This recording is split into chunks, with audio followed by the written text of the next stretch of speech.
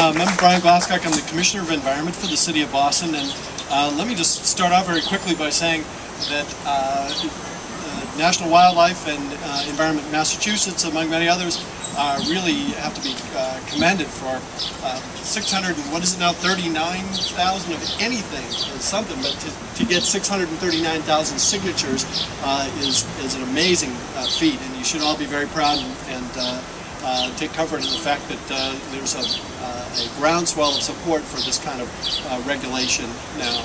Um, Boston is downwind of virtually everywhere else in the country. Uh, the air that we're breathing, about half the pollutants we're breathing on a day like today are coming from outside the Boston area, uh, whether it's Western Mass or in New England, but it could be coming from as far away as the Ohio River Valley. In fact, uh, with the, the large power plants that are that are downwind from Boston, we're getting a lot of fallout that uh, we really don't need. Now we're all uh, electricity users. And we all bear some responsibility uh, for the fact that we use electricity. Uh, it has to be generated someplace, but uh, pretty clearly the technology is there. The political will is there, thanks to our, our EPA leadership in Washington and here in Region 1, uh, as well as on the state level.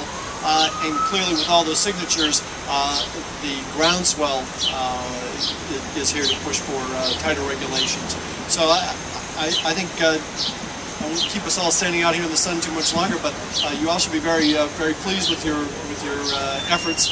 Um, City of Boston is doing what we can to reduce our energy consumption. Mayor Menino has given us some very tight uh, time frames to reduce uh, electricity use in the city, and we've launched forward with a, a Renew Boston program to help uh, ordinary uh, folks make their homes more energy efficient. But uh, that's not enough. Uh, we're going to need tighter regulation on emissions of air toxics, and we appreciate the leadership on the EPA level. Um, one last thing, I'm going fishing a little later this summer, and every time I apply for my fishing license, they you a little warning, and the warning says, eating the fish may be hazardous to your health.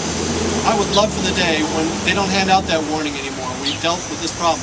I'm going fishing in northern Minnesota. It's about as remote as you can get if mercury pollution is extending that far, it's that ubiquitous in our environment, we clearly need to do something about it.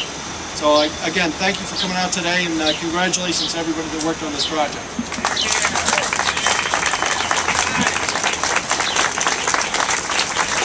Okay, and now our final speaker is EPA Region 1 Administrator Curt Spalding, and I am also going to hand him, in here we have a letter that's signed from over 200 groups from across the country, which we will ask him to deliver to Lisa Jackson, in addition to the 639,000 comments that we will also be delivering. So here is Administrator Curt Spalding. Let me look at this letter first. Very impressive, everybody. I know how, how much work it goes into doing this kind of work and rounding up 630,000 comments and letters like this. As some of you may know, before I became regional administrator of uh, EPA, I was the executive director of Save the Bay, so I know how hard you've all worked to make this happen at a grassroots level. It's very, very important. And I want to thank you for your work. I also want to acknowledge the leaders that are here. My good friend Don Hooper from the National Wildlife Federation, Juan, who just spoke, uh, of course, Ben, who, who, just spoke, and of course, Bryan. Congratulations on this effort. It's, I'm sorry I had this backwards. Ben, who introduced it, Bryan from Mayor Menino. Mayor Menino likes to say, Beantown is Greentown, and we're very happy that he takes that view. It's been a terrific collaborative arrangement with Boston as we try to accomplish environmental goals here in the city. Again, I want to thank all of you, and on behalf of uh, Administrator Jackson, I especially want to thank you for your work and, and your work helping us cut the heavy pollution coming from our heavy polluting power plants, our coal burning power plants, what this rule really addresses. Um, earlier this year, uh, when Administrator Jackson announced the proposed rule to cut mercury and air toxics from her most heavily polluting power plants, she talked about the many incredible benefits this rule is going to provide the American people. Uh, first, we need to talk about vitally important health effects. We estimate that once these clean air standards are in place, we will be able to prevent 17,000 premature deaths in America, 11,000 heart attacks, along with 120,000 cases of childhood asthma and 11,000 fewer cases of acute bronchitis among children. Amazing numbers.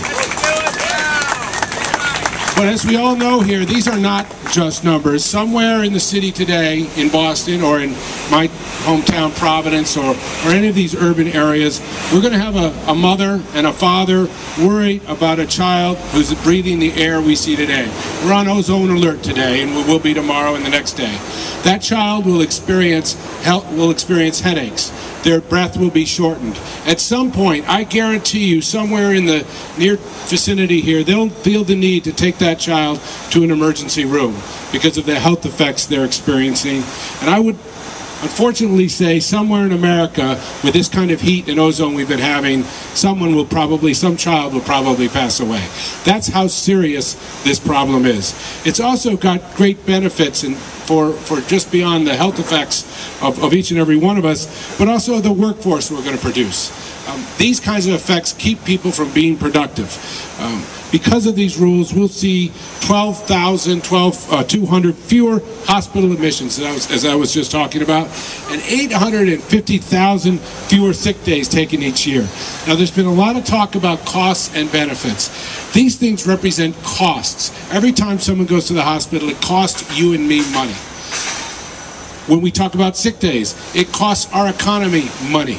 We're going to see tangible monetary benefits from this work. Now, that's not the primary reason you do this, but as we talk about putting people to work and, and making the economy work better, these are important. Um, these will also open up safeguards for more pollution control technology.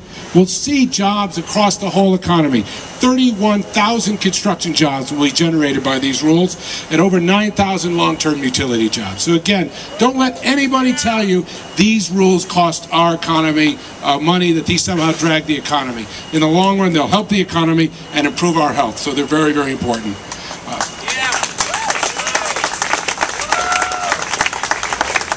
Now, something else the administrator spoke about the day she, she announced these rules was that cleaner air will help all of us and, and public health advocates, environmentalists, parents, even industry. Um, we've received support from everyone on this. There is a small group of people out there and small group of entities who are, who are challenging these rules, but these are widely supported everywhere. I'll finish up very quickly here. Uh, so I want you to know that everybody supports these rules.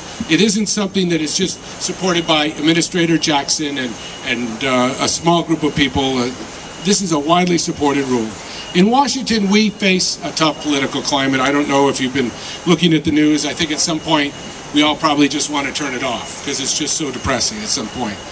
But this, there's a great choice before us in America, and we're, we're making that choice about clean air and good jobs for American people. And we thank you for weighing in on our behalf. Those 600,000 plus comments will mean a lot to everyone, plus this letter will mean a lot as we go forward and press forward on these rules. I can tell you this is probably going to be the fight, well, the fight of this administration on the environment. Nothing is getting more um, opposition than trying to clean up our air because we all know why and who it impacts. I don't need to go into detail. But this is a this is about the people fighting for the right thing. You're weighing in. We appreciate it, and we want you to stick with it because it's not over today. It's going to go on for months and months. And to ask uh, to to to uh, do the one thing that uh, was talked about here in region in this region, we will enforce clean air rules. We have done so. Our states have stood with us. Our communities have stood with us, and they will be enforced if we if we get these rules through. So I thank you all very much and, and good luck with future efforts on this whole endeavor.